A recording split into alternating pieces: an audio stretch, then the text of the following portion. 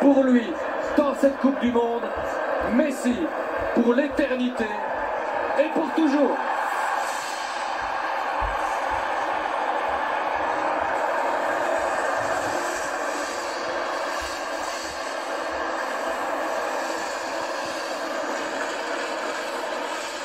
C'est évidemment le couronnement d'une carrière pour cet homme qui nous aura tant fait rêver, Philippe, par ses gestes, par ses buts, par ses attitudes sur le terrain.